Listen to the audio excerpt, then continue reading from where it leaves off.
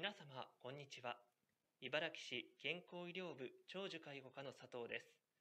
令和4年度茨城市介護保険事業者向け説明会括弧6各種申請書の様式変更についてご説明いたします。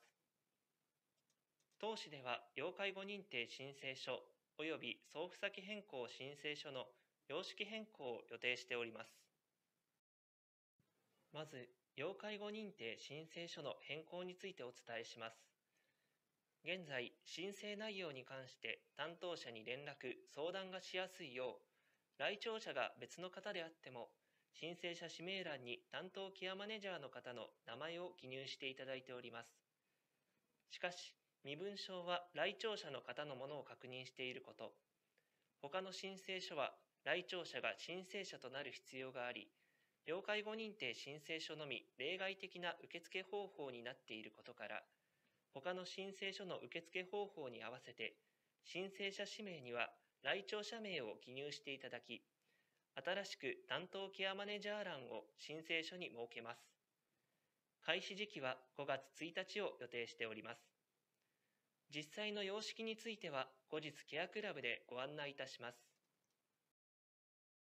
次に送付先変更申請書の変更についてお知らせいたします。現在の申請書では、すでに設定のある送付先を廃止したい場合に、記入方法が分かりにくいため、新たに送付先を廃止する選択肢を追加します。合わせて変更する被保険者の性別欄も廃止します。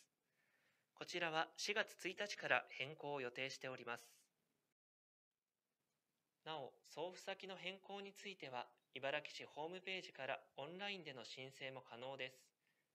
窓口や郵送と同じく、本人及び家族から申請していただけます。これらの申請書については、変更後も旧様式での提出も受付いたしますが、できる限り新様式での提出をお願いいたします。各種申請書の様式変更についての説明は以上です。